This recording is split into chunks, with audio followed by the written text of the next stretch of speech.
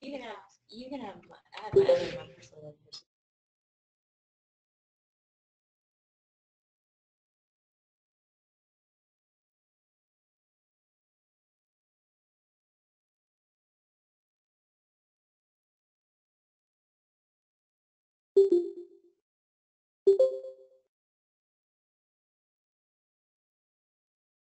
Good afternoon, everyone, and welcome to today's webinar. Uh, my name is Susan Ryan. I am the Senior Director for the Green House Project. And I've been with the Green House Project for uh, about nine and a half years now. And, and I think what I want to tell you first and foremost is that this model, to me, is one of the most compelling models out there uh, in terms of what it's able to do from a quality and cost perspective. What I also want to tell you it's a model that is very flexible, very adaptable. What I want to tell you about the greenhouse adopters, those who have adopted this model, is that they're innovators. They're thought leaders that really helped us continue to go forward thinking and what we do. One of those areas would be in the area of short-term rehab in a greenhouse home. Now, when you think about why greenhouse, why would you incur the capital cost and build small homes to do short-term rehab? So here's the deal. I think we have a lot of core beliefs, and I, as a registered nurse, I can tell you I had my own core belief system. And that said that really what the consumer is a kind of a hospitality concierge type service rehab. The other thing they want is high-tech equipment. They want a, a gym that really has all the, the bells and whistles that will get them home quicker. So here's what the provider wants. The provider wants good occupancy. They obviously want good Medicare reimbursement in their short-term uh, rehab, and they want great outcomes. This is a day where we're watching outcomes. We're watching our length of stay. We're watching our rehospitalization rates. So when you think about why Greenhouse, this kind of started for us in 2010 when uh, the Leonard Florence Center for Living, they challenged those core beliefs. And they said, we believe that home is the best place to cover, to recover, and a greenhouse home would be that perfect place. They've had great outcomes, and they've really influenced others who have come after to really incorporate the uh, medic as a payer in their payer mix. So today's call, I'm really happy uh, to introduce Candace Robinson. She is the community nurse liaison with Village. And she's going to tell you a lot about their experience and uh, the incredible outcomes that they've had, once again confirming that home really is the best place to recover. And what they've done there is to really create a rehab experience for the consumer with strong quality outcomes that are very attractive to ACOs. So with that, um, uh, before I turn it over to Candace, I'm going to let you know that your lines are muted.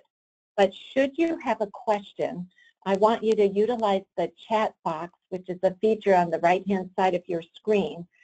Uh, I'll have Candace take a look at the questions at the end of her presentation so that she will be able to address the questions that you might still be sitting with.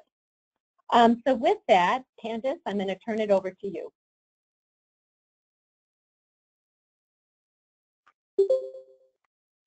Good morning or good afternoon, everyone. How are you? Um, thank you so much. Um, I have director for and going So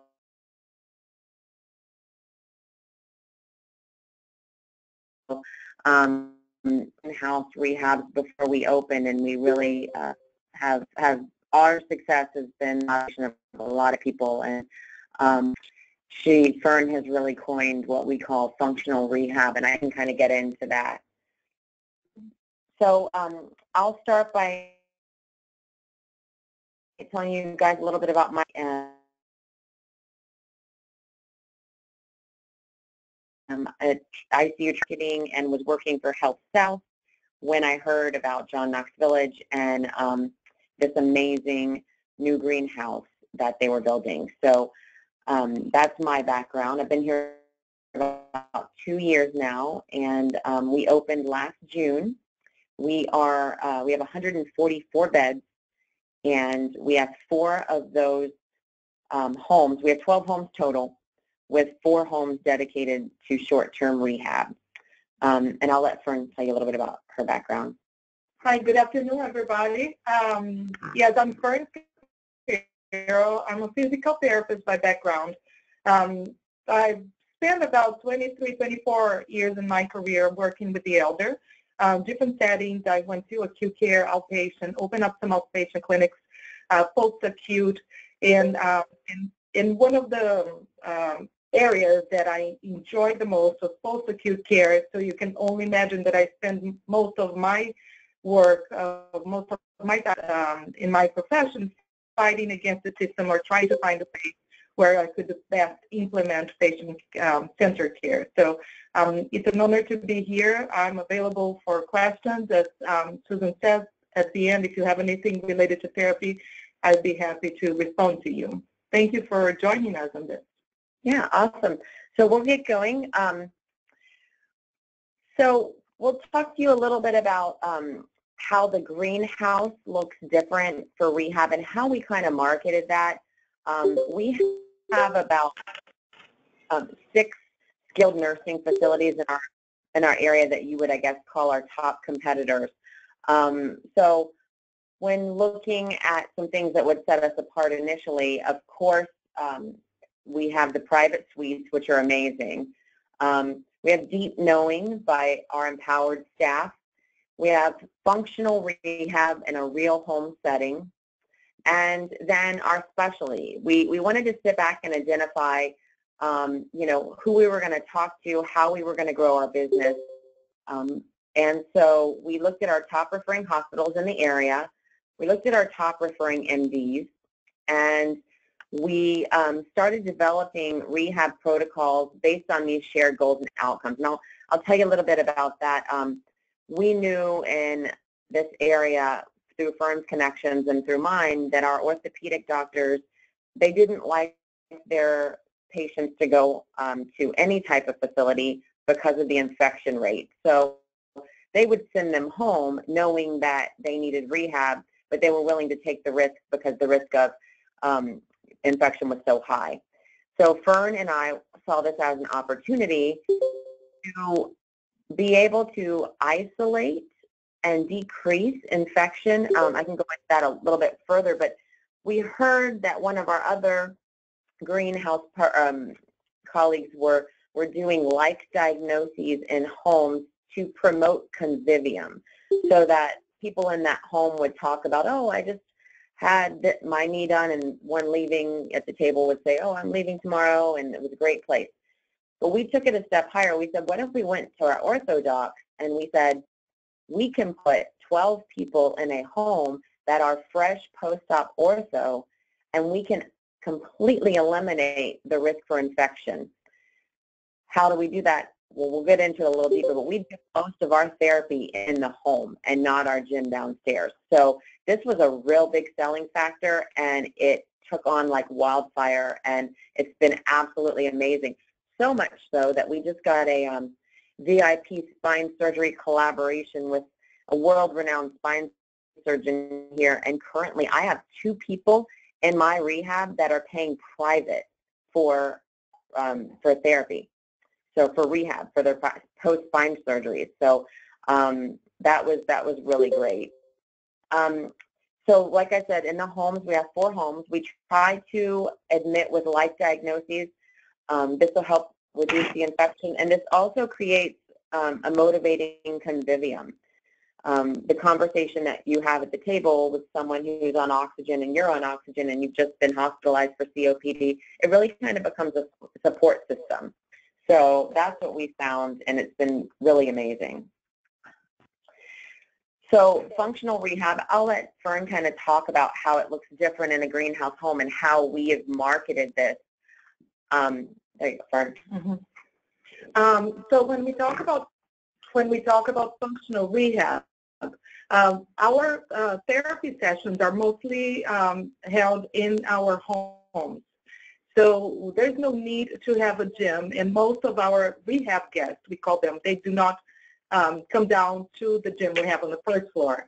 Um, you might find a therapy session sometimes happening in the kitchen as an occupational therapist is working with, um, with meal preparation or um, walking, a physical therapist walking in small spaces in, from the kitchen to the pantry. Um, many times you find a speech therapist working with someone sitting in the dining room. Um, because we like to innovate, because our invitation is always looking at the elder and see what's important for them, I, uh, the therapists are asked to be very creative. And the sessions um, could happen in ever um, space in the house. Laundry room and the bedroom and the bathrooms and the den and the sunroom. So we use every space of the house to do what we call the functional rehab. Uh, we call functional because everything um, is related to what do the elder need to do when they go home. I always say that our elders, the majority of them, when they go home, they are not worried about how um, how many pounds they have to lift or going to the gym or uh, for how many minutes they have to walk on the treadmill. They're mostly worried about are they going to be able to make it and be safe and be independent in the house.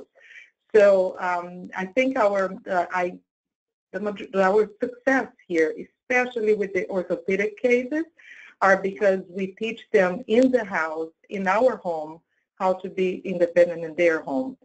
So um, as uh, we say, we don't. There's no need to imitate. We don't need to teach them how to lift um, uh, weights in the gym. And so when they get home, they are not sure if they will be able to get a gallon of milk from the fridge. So we, what any, the goals are established based on a cooperation between the therapist and the elder and what we call the rehab guest. And um, the therapy sessions are very clear for them. It's uh, very um, clear in terms of what's your goal and how we're going to get there, and we train them to do what they need to do in our home before they go to their homes. Um, I'll tell you, this is Candace, I'll tell you, um, I like to market this when I give tours and when I'm explaining this to everybody.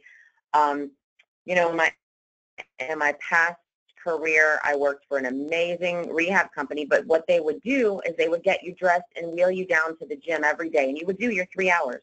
And then you go back to your room, sit in your bed all day, um, eat your meals at the table in your bed, and if you had to use the restroom, you had to use the call bell and you had to have someone help you. So, and that, that would be on the second week. So on day one to day three, we are all about independence and promoting independence and using the bathroom and getting out of bed, things that you do in your house versus getting you down to a gym and having you sit on the bike machine for 15, 20 minutes. So that's, it, it, it's real movement, real activities in a real home. Mhm. So I, I love I love when Fern talks about doing you know carrying the gallon of milk around. Um, it's just the ability to imitate and not simulate. Like we are actually, and you know, if you want, if you're going to make a bed, we're going to make your bed in the morning when you wake up. Make it look like their routine at home. So what makes us better? Um, we have physical therapy, occupational therapy, speech therapy, seven days a week. Um, we do one-on-one therapy with your dedicated therapist that promotes the deep knowing. Um, we have equipment needs that are minimal, and I can, um, Fern can kind of talk to you about how that looks in the home. And then the Shahbazim, I'm going to let Fern touch on that. Mhm. Um, so the deep knowing, I always say, is our therapists all go through the core training for the greenhouse, and they learn about the importance of really understanding what's important for the elder and get to know them. We're all unique and different, so um, unique in certain ways.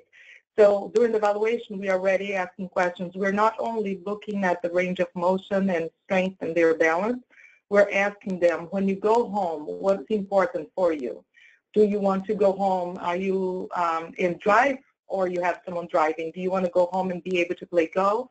Or what's it's important for you to just go home and go from the bedroom to the bathroom? So uh, with that in mind, we established our goals based on what's important for them. Um, the equipment that we have here in our homes are, um, we have a small area, uh, the den, where we store most of our equipment. Uh, we have the weights, the weighted bars, and we have the simple um, hand exercise, different things in terms of uh, just fine motor, um, small equipment in that area. But most of the house, most of the sideways and the hallway, um, as Kendra says, fixing the bed, uh, making the bed in the morning is where the equipment we use to work on um, increased days of support and balance and um, different activities. So the way we do have a, a small um, area we call the sunroom where we have a new step machine um, and we do use that for cardiovascular training. But that, if you do not have space for that, uh, you know, I always tell the therapist, the long walk in the hallway, uh, walk in place, walk in their own room, holding on to the bed, that um, would do the job. So equipment is just based on the space you have a few simple things you can implement. But um, and I can give you more details about that if you want, if you have questions. But uh, using the home as a therapy gym is um, how we instruct our. And the Shahbazim, because they see all the therapy being do, done in the home, later that night when um, your rehab guest, you know, is in the room um, for dinner, you say, oh, get up, come on, come on out to dinner. You don't have to say, well, let me see what your weight-bearing status is. Let me look at your chart. You know, everybody in that home knows that you've been walking all day with the walker, with your, you know, your dedicated physical therapist. So there really is that everybody in the whole house knows mm-hmm. what you can do because they, they're watching you do it throughout the day. Okay. Um, so let's talk a little bit about our success. Uh, like I said, we've been open for um, almost a year now. We have 12 homes of 12. Four are dedicated to rehab, and we are actually um, converting one. It, it has um, six short-term rehab beds, and the other is a long-term residence. So we are we're, we're converting that because the need has been so great. Um, we we average about 80 short-term rehab admissions per month of those 50 um, rehab beds, 48 going to 60. We have 99% average daily census. We are full. I am filled up before we're discharged. It's been amazing. Um, we have an average daily rate for Medicare reimbursement of 550 per day. And currently, I have the largest Medicare census in Broward County. I am causing, we are causing at the Woodlands, we are causing huge market disrupt in our competitor facilities. Um, and then what we did, which was really interesting, there's this movement out there called the Affordable Care Act and the Bundle Payment Care Initiative. And if you're familiar with it, it's calling for reduction of hospital stays but increased quality. And we had the opportunity to partner with a very large hospital system while they were rolling out this bundle initiative. And we said to them, what are your standards? What do you expect from us? And then we based our protocols. We based um, a lot of the things that we did here around their expectations of us. And we have been amazed at the amount of business that we have, our, we've grown our business and referrals from this particular hospital. Um, and then also the way we're performing in a greenhouse model, and I'm going to show you some graphs on that, the way we're performing is absolutely blowing the others out of the water. So initially, Holy Cross came to us and they said, we want you to be on a long list of who our preferred providers are. And within a year, we are at the top of their list. There are six other preferred providers. And Holy Cross has a bundle roundtable meeting with us every quarter where we go and sit at a roundtable with all of those other competitor SNFs and our greenhouse, and they literally unveil the stats. They show us all of our stats and in an open forum show us how we perform um, against our competitors. And I actually have those slides, um, and I'm going to go over those with you guys so you can see those, just how amazing it is. I mean, proof is in the numbers. Um, and so this was really, really a great opportunity. I think there was an advantage because we were coming into this new we were establishing protocols and, and um, we were establishing, you know, what are okay readmission rate was, what our length of stay was going to be. And we were holding our physicians um, responsible for that. And the ones that had long length of stays and had high readmission rates, we did not, we asked them not to follow their patients while they were in our rehab. Um, and so we are coming into it with our doors open versus other places that are having to rewrite 20 years of how they've, they've maintained their short-term rehab. So it was really a great advantage. So here's some of the roundtable discussion that we, now this is information that Holy Cross got from the CMS website. They have been now tracking our bundle, um, they've been tracking our bundle criteria for a year now. So this is a, a year's worth of data, and as you can see, on you'll see that the post-acute provider were in the red. These are the six that I've protected their name to, to uh, or um, deleted their name to protect the innocent. Um, so the episodes, we, we have 48 episodes um, of the bundle under these certain diagnoses. And this is a mixed case um, in this one. You can see our cost per episode is the lowest except for one, but that was that person, SJ, down on the bottom only had five episodes. So for 48 episodes, we had consistently the lowest cost significantly.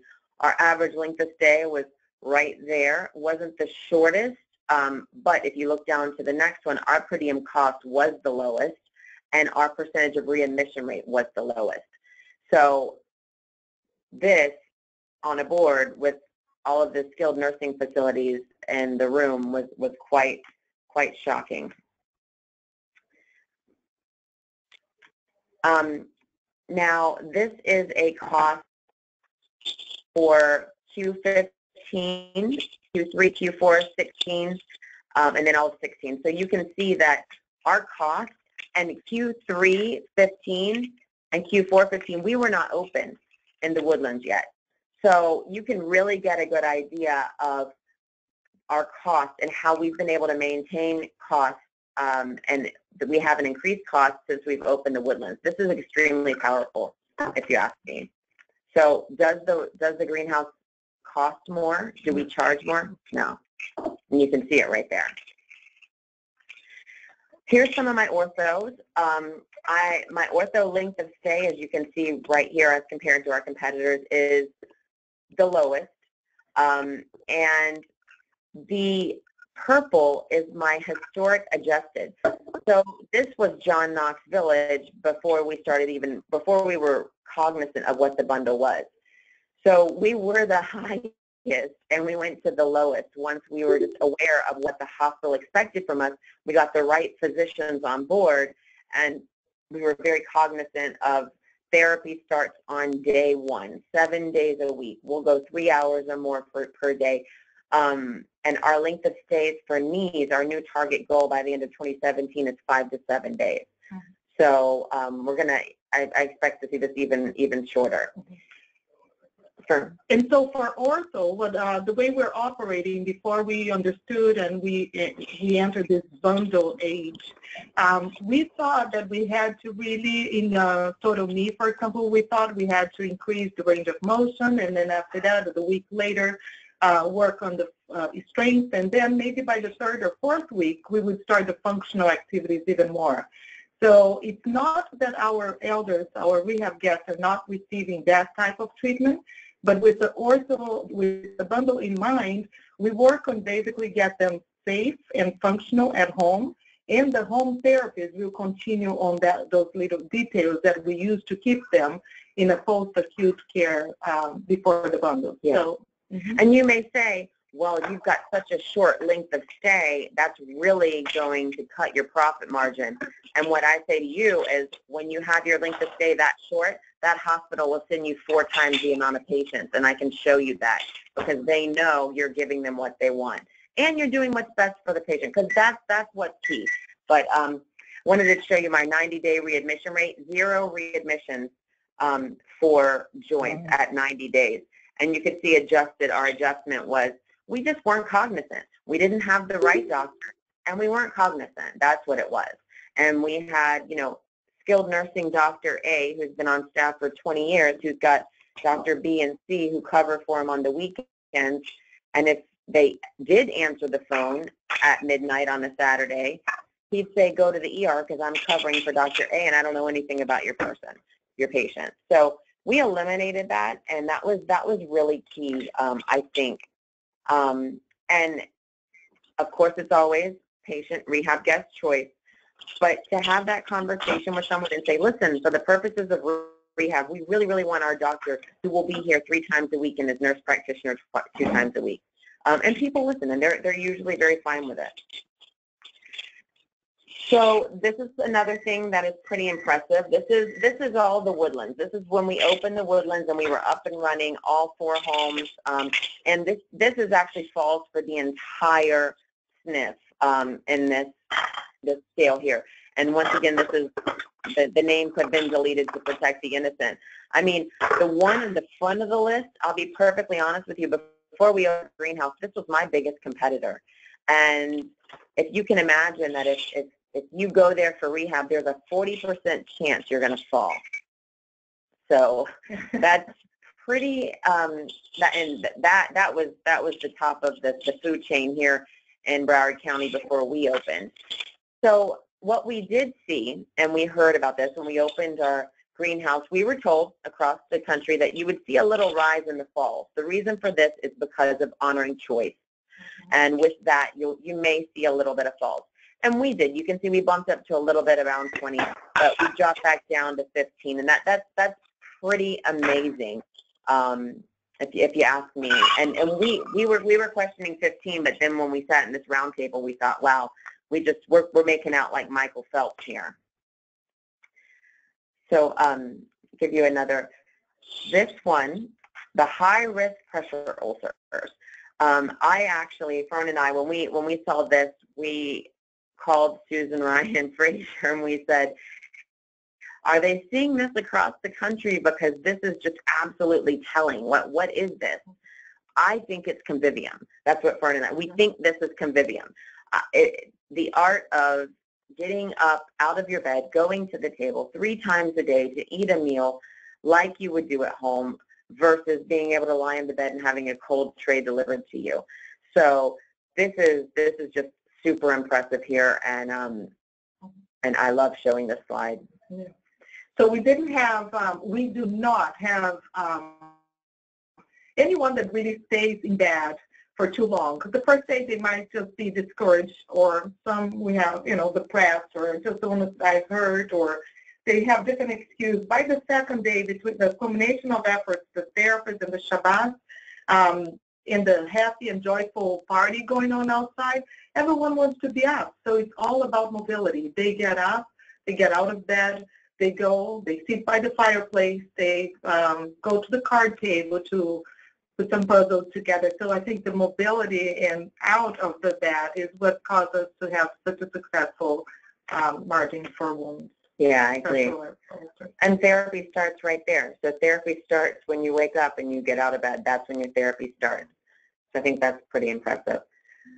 Um, so what are people saying? Um, the community, I would literally have physicians saying, okay, if you need rehab, if you can't get into the woodlands, then you need to go home. Um, go there or go home. So everybody loves the small homes with the like diagnoses, and um, the, the doctors are all in agreement that we have the, the ability to, to really decrease, maybe even isolate the risk of infection. Um, therapy is predominantly done, done in a home, and that helps us decrease cross-contamination of the ther um, shared therapy equipment. Um, my discharge planners and the case managers at the hospital, um, they are loving it. They say that finally they have a rehab choice that nourishes the mind, body, and spirit. And um, they're telling me that people with insurances that, that we don't accept, it, it, it's quite hard for them because people are saying they want to go to John Knox and nowhere else. And they've never seen, I, one of them said to me the other day, I have never seen this before in my life. I, I asked for a second choice and they won't give me one. They said, no, we want John Knox. And that, that's, that's pretty impressive. Um, we are called the Ritz-Carlton of Rehab, And I've heard families say, oh yeah, Dr. Roche said you're the Ritz-Carlton of rehab, not just because of your building, but because you guys have such great care and therapy. That's really impressive. Um, that's, that's pretty encouraging. Mhm. So what's next? Um, we hope to be an industry leader to help people do what we've done as far as short-term rehab. Um, we love collaborating with the greenhouse and um, want to tell our story, want to shout it from the mountaintop. We need to build another greenhouse. We're, we're full. We're full with rehab. We can't we can't fill the rehab beds. It's, it's a really great problem to have. Um, and, and sometimes I get upset. I'm, I'm turning down referrals at the hospital, and I have to kind of think to myself, what an amazing, what an amazing conundrum. Mhm. Um, we are looking to expand our preferred partnership with the bundle. We have the second um, and third largest hospital system in our little area, so we're looking at Broward Health and Memorial System. Um, we have gone into a Model 3 rollout with the BP, the bundle payments with Holy Cross, and I'm proud to announce that we have done our first three-night Medicare waiver. So um, someone with a with a um, spine surgery who didn't need the three nights, we were able to bring them in. I'm hoping to do a lot more of those. Um, I'm looking to get um, relationships with the ERs so we can do a three-night Medicare waiver straight from the ER. I think that would be a great benefit to us and to um, hospitals looking to decrease their readmission rate. I'm going to market that to them.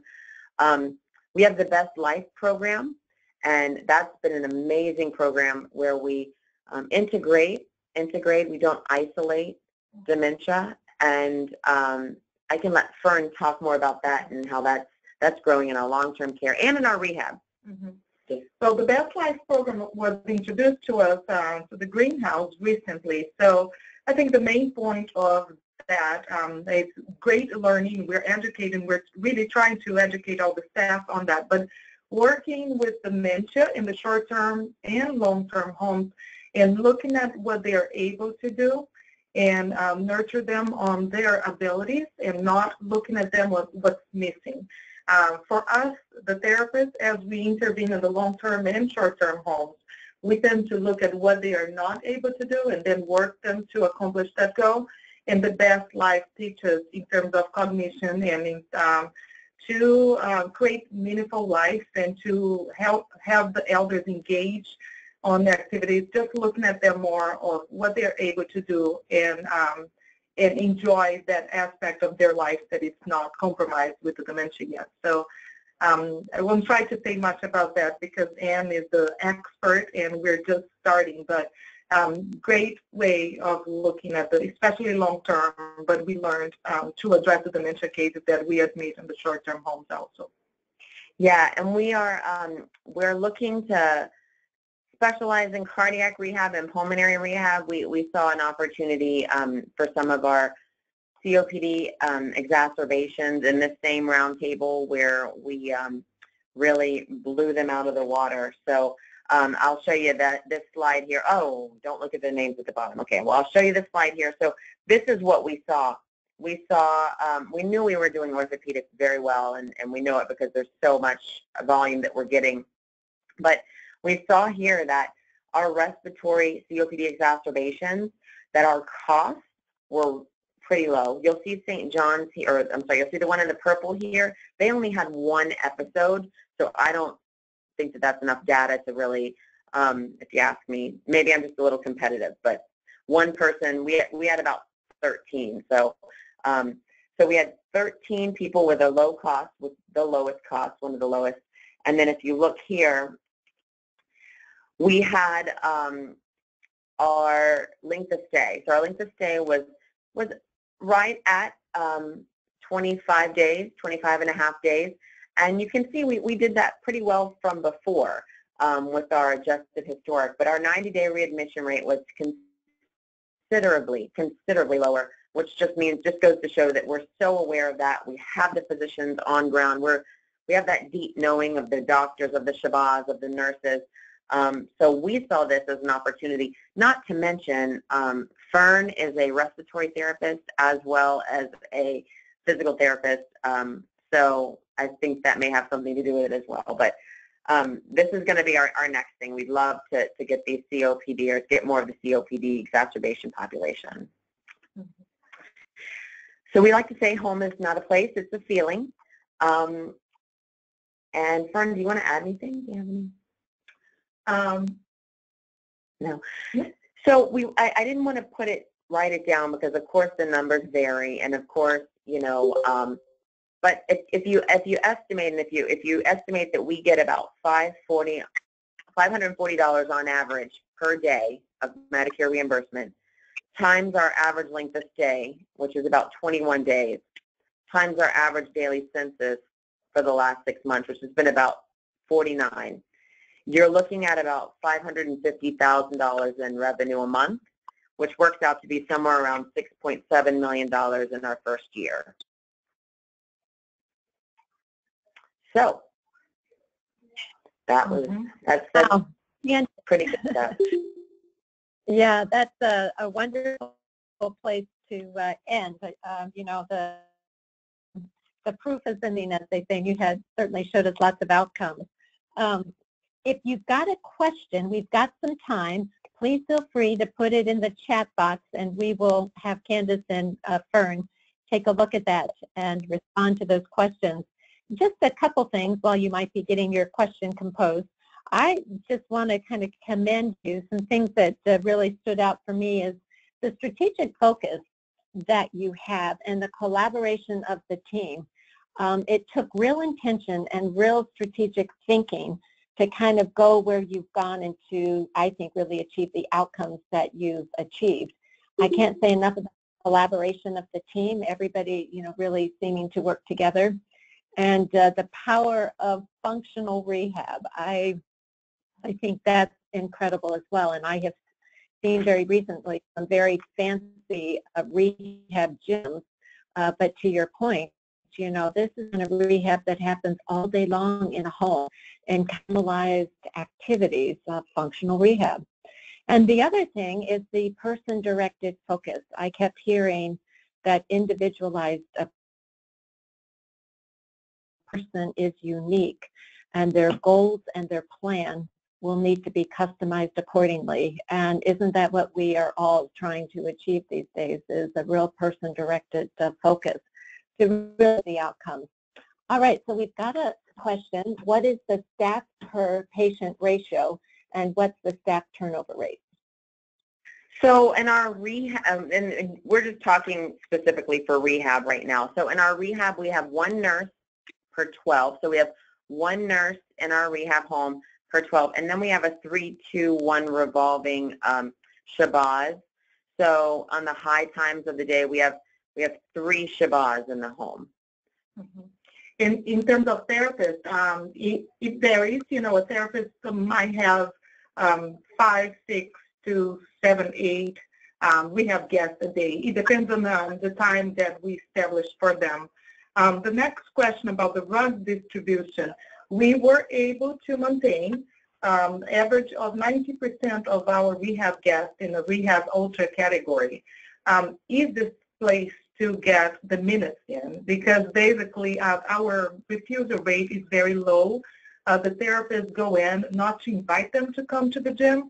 They'll go in to start their day with them. So it's um, they are trained to be very creative, implementing, uh, incorporating activities of daily living, uh, getting them up to the shower, to the restroom, or walking them to the dining room. So it's very easy to accrue those 720 minutes every seven days if you're familiar with the way we, uh, we use the therapy or drug category. So um, we, the majority, we have ultra, but um, if if it's not in their best interest to receive that 60 to 75 minutes um, session a day, uh, the therapists are also asked to really provide them with, with what's important to them, despite of the fact that could affect our reimbursement. It's patient-centered. It's what's important for the elder. So it's a very fine balance between um, our business and uh, caring for them with what they deserve. So everyone is made, made aware of that, and they have the freedom to decide what's important for the elder. But Um, so I'm looking here and I'm finding out my staff turnover rate. um, so you guys can kind of see. I, I know, um, I know it's lower than it was in the institutional model. Um, I do know that, that it's been lower, but I'm going to get some um, actual numbers on that. So I see the, the bay windows um, in the front of the, are the individual rooms. Those are individual rooms. Those windows that you see um, on the front that go all the way down, those are, those are windows in the room. And it's the, the two end rooms are, are the, the most gorgeous. So, um, Uh, if the, uh, the question, if the RU is, is so high, uh, how the per diem rate was low. Uh, the per diem rate, if you're talking about our cost per episode, what we are saying is how much we are spending on each one of the guests. We're not talking about what we're being reimbursed. The cost per episode that um, the hospital provided to us, it's our, am I, it- it's, no, no, that's, that's what we're being reimbursed. That's what Medicare is paying us. but it's a combination between the acute and post-acute care. No, that's just ours. Yeah. No, that's just ours. That, that's our cost. That's, that's what, that's what we're being, Did I, did we, re- um, the RU so high for per diem leave so low? um, Is I, that maybe because of our uh, length of stay? We, I'm I'm not sure if I understand your question. Our length of stay was very short. So if your average 500 to $600 a day with a 10-day stay, uh, it could be that, um, yeah.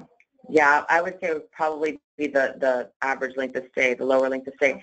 Um, Our turnover rate is less than, or is under 15%, our staff turnover rate. So I, I have here, it looks like you have a mid-rise. What size land did you have to build your greenhouse facility? We are literally on 80 acres of land. So, um, and, and, and we're completely, we're a can, retirement life plan community. So we have 80 acres, we've been here 50 years. We have villas. We have over 200 villas um, spread around the land. So land was an issue for us. We didn't have the space to do the ranch style, so we had to do the high rise.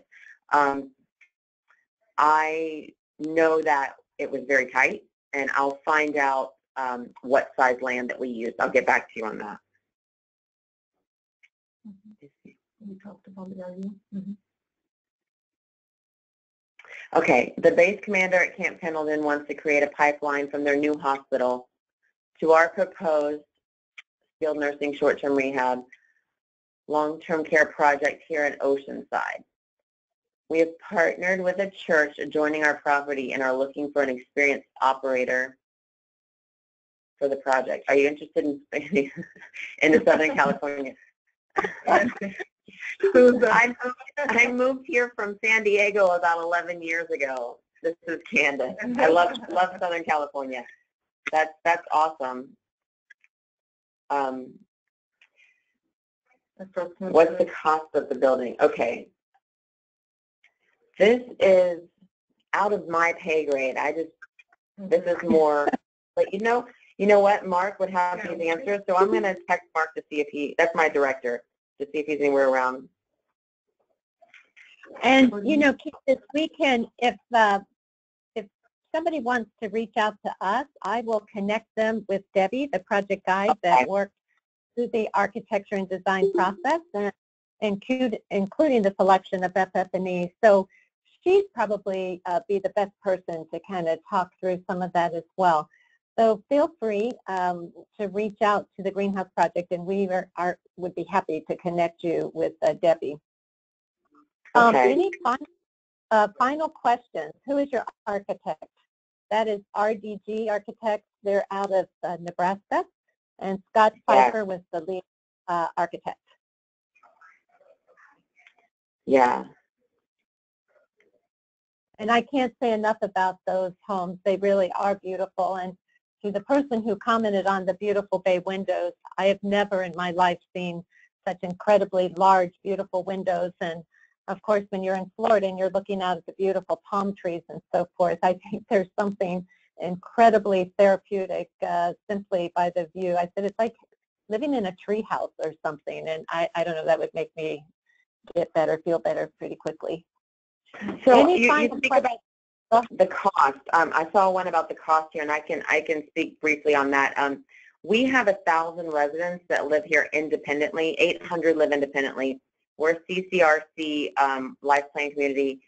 They had a 50-year-old skilled nursing facility that was very much institutional, shared rooms, and when they looked, when our residents looked to the board for building a new skilled nursing facility, they were the ones who brought up the greenhouse project. And the older administration or the, the other administration said, you know, that's not possible. It's not cost effective. We can't do that. So our residents went on a summer mission and they went and toured, um, there are a group of about eight of them. They went and toured greenhouse skilled nursing facilities in the country and they came back and they spoke to all of the other residents and they raised um, over $5 million of their own money to build this.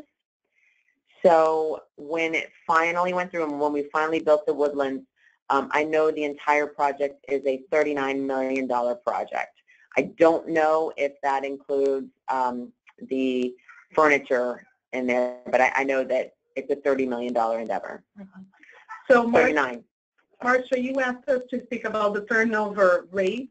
I am a guide of uh, homes one and two here, and what I could tell you is, um, in terms of the home staffing, uh, one Shahbaz has left since we opened last June, June 20th last year. One nurse has left in the two homes, and I'm, um, I might, I'm just giving you the numbers that I'm aware. And one occupational therapist left because she went to work with children.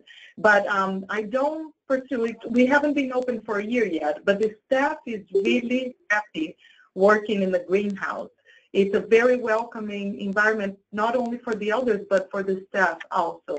Um, but I would say the Shahbaz um, are growing, they're learning, they're training, but it's heavy work. It's a lot of work for them to run a house in the short term.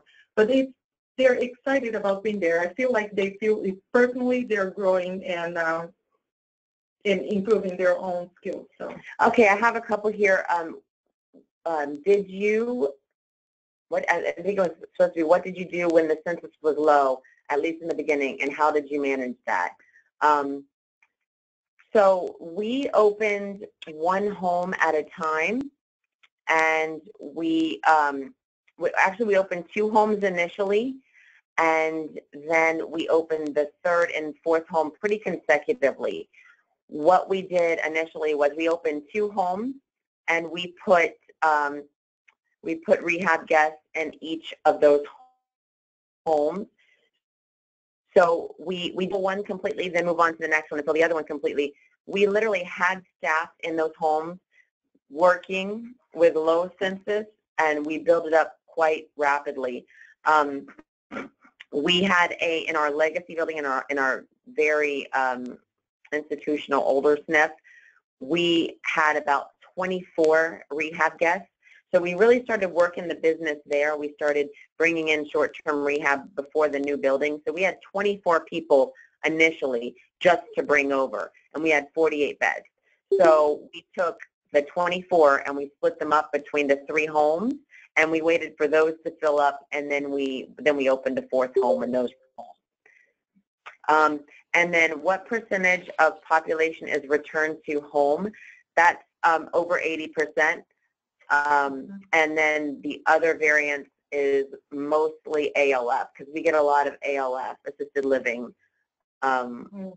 and then, um, last month we had uh, 70, um, 72% going home. We had small percentage went to the hospital, and then we also have um, um, we manage the ones that are discharged to independent living and assisted living. So we are kind of keeping our eyes on that. What I think it says a lot is the very small percentage of our elders go to long-term care. It shows that we are the population, we are addressing higher level, and we're managing to return them to the prior level of function. and my readmission rate, our readmission rate last, last year, our last month was 1.5%. And that was out of 67 admissions. Wow. Well, that's, um, Candace, that's incredible. Um, Fern, uh, we are so proud to be your partners, that's for sure. There were some questions about um, the bottom floor and, and you know, really wanting to have a deeper look, a visual of what um, it looks like there, what I'm going to suggest, um, I've asked Rachel to keep a copy of those questions. And then Candace and Fern, I'd like to invite you back for another kind of part two. And what I'd really love to do is take kind of more of a, a tour, a pictorial tour of kind of the things that are going on in the homes that would really highlight functional rehab, as well as some of your spaces on the first floor. Um, I, I think we could create something that, um, while you described kind of the really important thing that gets us to a lot of the quality and, and the, the outcomes that we spoke about, I think we can really learn a lot more just from those physical spaces because the physical spaces are beautiful and um, I would love for people to be able to see those and I think that would help to create a more comprehensive picture of the role that that beautiful environment does uh, play on one's rehab. And, and, and I do have like a two-minute video on my website if you wanted me to um, click on that. That kind of gives an overview um, of the Woodlands right when we first opened. So, Can you, Candace, um, if you Yeah. could put the link to that in the chat box, then Okay. folks can, um, so I don't, I don't think that we can show it in the webinar room. okay, that's fine. Yeah, I'll put the link to that in the chat box. And Rachel will also include that with the PDF of the slides that Fern and Candace worked from today. So thank you both for an incredible, uh, a credible session, a webinar that really has helped to illuminate hopefully all of our thinking about what can be in the beauty of your own, of a real home, such as a greenhouse home. So thank you both, and I everybody who has joined our webinar today. Once again, Rachel will send out a PDF and a link to this recording tomorrow, as well as a link to what uh, Candace has just described. It'll give you kind of a two-minute tour of things going on at John Knox Village. Yeah, I'll send the link in just a second. Awesome. All right, everyone. Thank you so much. Have a fabulous day.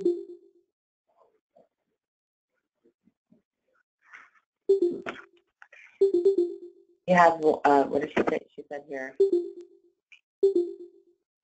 Do you have more occupational therapists? Things like this? Yeah. Yeah. More, he does, he-